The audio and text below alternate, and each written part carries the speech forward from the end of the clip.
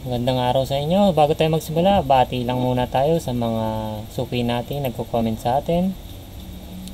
So, binabati natin si Imperial sa Panta.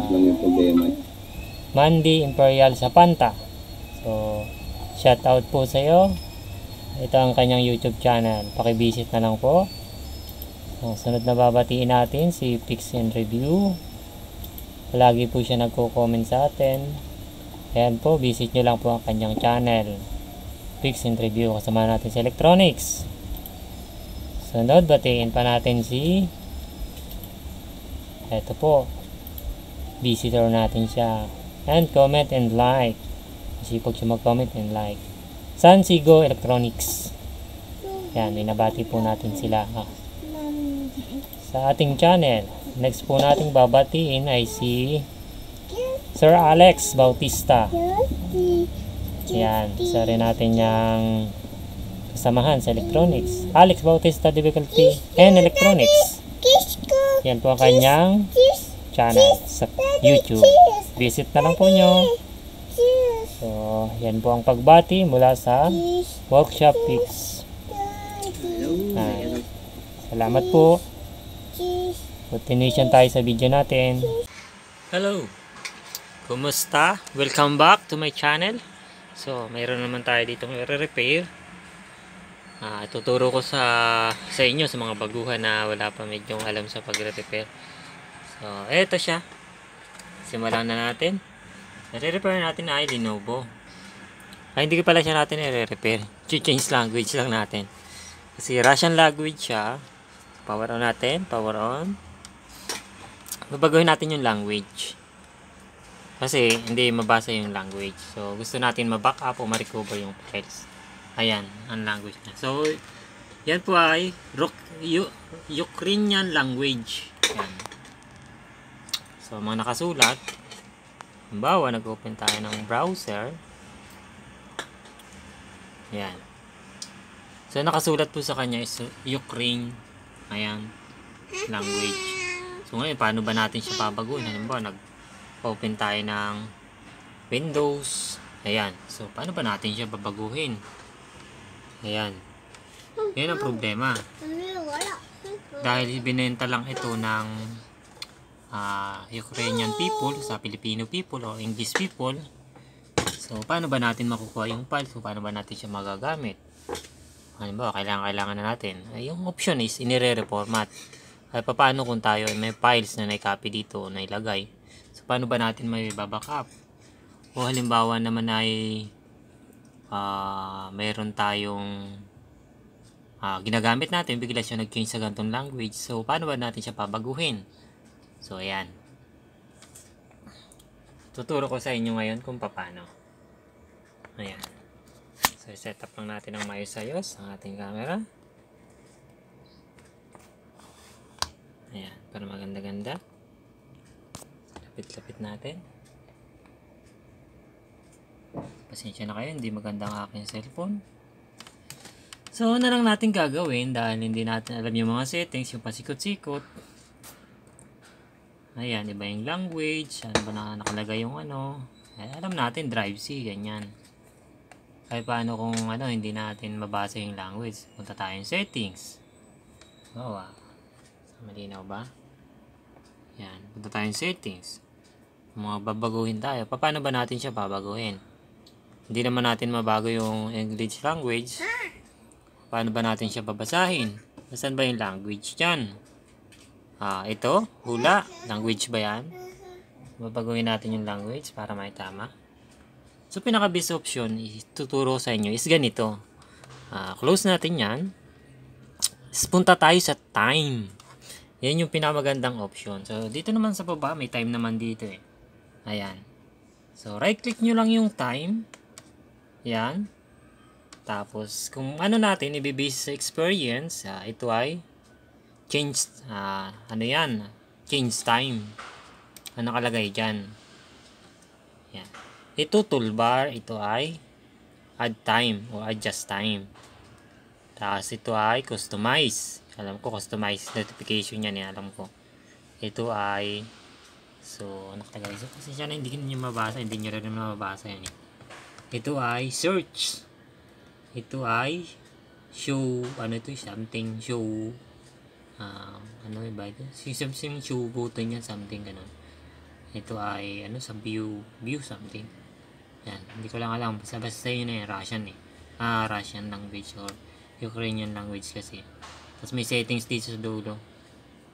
Ito ay para siyang T, toolbar. toolbar siguro yan. Ito ay siguro sa taskbar ito. Yan. Yun ang sa baba. Ito ay sa ano ito siguro? T, parang T siya, toolbar. Yan. So, hindi natin mabago. Ang piliin natin is itong nasa ano, ito. Pasok tayo sa adjust time. Ito, ito. Hindi man adjust time yung nakasulat yan, pero yung, ito yung adjust time. Punta lang tayo yan. Yan. Click natin yan. Yan, napunta na siya ngayon dito. So ngayon, paano ba natin makikita? Eh, naka-Ukrainian language pa rin yan. So paano ba natin yan mababasa? Ayan, kagaya yan. Iba yung time. So, bilang lang tayo. 1, 2, 3, 4. Yan. Halimbawa, yan. 1, 2, 3. Doon sa 1, 2, 3, yan nyo lang yung, piliin lang natin yung, kasi ito, mapansin nyo, mayroon siya dyang parang A. Alam ko sa web ito eh, sa web yata, o region, something, region. Ito ay date and time, kasi may nakalagay naman na, ano, medyo hindi kita, pasensya na kayo. Yan. Hindi, hindi utupo ko sa ating camera. Ito ay something sa date ito, ito ay sa region siguro ito. Is ito alam ko sa language to. May nakalagay naman kasi na ano eh. Base na lang bibase ko na lang siya sa experience ko. So i-click lang natin yan. So dito. Pag kinilik natin yan language. Yan. So nakita natin yan yung lumabas. O yan. Pag kinilik kasi yan natin na language. Yan. Ang nakalagay dyan is ano ito. Yan. Ang gagawin nyo lang yan baguhin nyo lang to. Yan, bag bagamat hindi nakasulat dito pero ang nakalagay dyan is may nakalagay na Windows oh. Pero ano yan, language yan. Windows language something. Windows language displays something ganun. Yun nakalagay. Check nyo lang yan. Yan. Tapos click nyo lang ng isa. Tapos lagay nyo sa English. Kaya lang hindi nagbago. So nilagay natin sa English. Wala naman tayong buttons. Buttons o ano. May kiklik. Hindi siya nagbago. Ano ba yung gagawin natin? Pag ganyan yung ano. Paano ba yung mababago? So ang solusyon dyan, ibig sabihin, nabago na natin siya, ang gawin lang dyan is restart lang natin siya. Uh, restart natin yung OS. Close na natin yan. Kasi nalagay naman natin dito, nasilik na natin yung ating Windows language display. So, restart lang natin, close lang natin yan. Tapos restart natin yung OS. Tingnan natin kung magbabago ah. Tingnan natin. So, paano ba yung restart? Ngayon, hindi rin natin mabasa yung restart dun sa baba. So, ito lang yan. Ito ang shutdown, ito ang restart. Ganun lang naman yan eh. Ito yatang isa ay log off yata to something.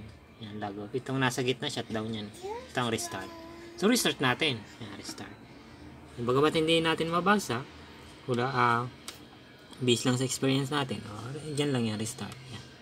So, ayan, hindi rin natin mabasa kung ano yan. Kasi hindi naman tayo nagbabasa ng ganyang language. So, wait lang natin. Tingnan natin kung magbabago yung mga settings niya. Sana magbago para maging success ang ating ginagawa. Minsan kasi pag mga galing abroad yung ating laptop, kagaya nito galing abroad siya. Hindi mabago. So, Russian pa rin siya. Nalagay. Pero Russian yung user kasi. Tingnan natin kung nagbago siya. Pag hindi nagbago, click pa rin natin yung mga region. May region pa yan eh. Click lang natin yan. Yan. So, punta ulit tayo dito. Check lang natin kung nagbago na yung language. Click ulit tayo dun sa time. Ayan, nagbago siya oh. Pansin nyo. Ah, display language. Oh. So, pag-asa na siya. Dahil, di ba, na gano'n na yung ano natin. Pag, ano, nawala. May lumabas na browser. Ayan. So, may pag-asa na tayo ngayon. Baguhin lahat ng language. Ayan, adjust time. So, ayan. Click ulit tayo dyan. Ayan, mapapansin nyo. Siyempre, pabaguhin na lang natin yung mga yung mga time zone. Halimbawa, uh, Lagay natin dito time zone ay kasi Philippines tayo. So, Kuala Lumpur. Yan. Sensya na kayo. Hindi talaga maganda ang aking camera. Ano ba? Yan. Yan. Kuala Lumpur. Lagay natin. Yan. Matic naman yan. Tapos, October 5. Yan. Language, date and time. Kuala Lumpur na yan. Region. Ayan, kay Ecuador tayo. So, baguhin din natin siya. Lagay natin sa ating region. Ano ba tayo? Philippines. O, ilagay natin Philippines. Ah, English. English format. Naka-Sweden siya. So, lipat natin. Sa US tayo eh. US na English. Eh, yan kasi yung ano natin sa keyboard. Ayan. Date natin. So, gagawin lang natin yung restart siyempre. So, ayan, nabago na natin. Region, format, naka-Gregorian calendar naman siya. Ayan. Language, siyempre, eh, automatic na, naka-English na tayo. So, check natin yung ano, preferred language. I-add natin. Ano ba yung preferred language? Lo-loading pa, antayin lang natin. Kita yung loading ito? Ayan, preferred language. Ito, tanggalin na natin to. Remove. Na mayroon na tayong remove, oh, di ba? So, remove lang natin yan. Di, siyempre, ito yung ating ano, pinaka-option natin. Yan yung language natin na gamitin. Oh, okay na yan. Speech. At least, English na siya lahat. Ayan. So, keyboard. US query. So, okay naman. Tapos, restart lang natin siya. Yan. Ang gagawin natin, restart lang natin siya. Dito naman sa language, siyempre dahil nag-install tayo, madali lang naman dito eh. Hanapin lang natin yung settings. Meron yan dito sa ilalim. Nasa may ilalim na ito. Ah, nakaano tayo eh. Next muna natin. Ay, walang internet pala. So, hindi muna tayo na, andyan, doon lang tayo sa language. Tayo internet. So, restart natin siya. Magbabago. Ayun, mapansin nyo siya oh. Yung restart. So, andun na yung ating ano, nakalagay na. So, nakalagay na siya oh. Yan oh. Sleep pala yung isa. Sleep pala. Sleep pala. Ayan. So, shutdown na. Meron nakalagay. Tapos, restart natin. Ayan. Restarting. Nakalagay na. Kanina hindi siya restarting. Basta ko daddy. Basta ko.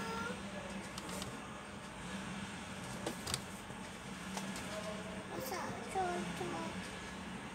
Wait lang natin. Loading. So, magtataka pala kayo dun sa screen natin is may problem ang ating text kaya kaya kulay pink siya. Yan. Ito user kasi yun na tinay pa siya. Pero na ano yan eh, pag binago naman natin eh, wala na yan. At least nakakita natin yung changes ng pagbabago ng language. Mababago naman natin yan. Remove lang natin, change, edit, edit lang. Sa user naman yan eh. At least, check na natin, pati settings. Yan. Oh, so ayan oh. Kita po natin, ayan, okay na siya. So, pwede na natin siyang kalikutin. Ayan. Lahat siya language. Naka-English na siya. Lahat na siya naka-English language. So, yung pagbabago ng setting, user accounts, dito lang naman yun. Yan. So, da, ayan yung nakalagay kasi oh. Ah. Hindi naman natin yung remove. Kung ito ang administrator. Check natin. Saan ba yan? Ito info. So, ayan. Diyan lang yan. So, check-check nyo lang yan. Okay, requirements, kailangan internet. Gamit tayo ng internet. Connect na natin. So, at least, okay na siya. Naka-English language na siya. Madali na siyang kalikutin. So, hanggang dito na aking video. Sana kahit pa paano ay nakatulong sa inyo paano baguhin yung yung language niya. Halimbawa, galing sa ibang bansa. Halimbawa, yung naka. Ukrainian, Russian, Italian. O kaya naka Middle East, yung language na Arabian, ganyan. So, ganun lang yung gagawin niya. So, ayan natin video. Salamat po sa inyong panonood. So, Windows 10 yung ating ginamit na example. Sana mabago nyo yung halimbawa meron kayong na encounter na hindi nyo agad i-reformat. Kasi iba reformat na kasi. So, hanggang dyan dito na aking video. Maraming maraming salamat po sa inyong panonood. Hanggang sa muli. Hanggang sa muli. Maraming salamat. Pork Chop. Bye-bye.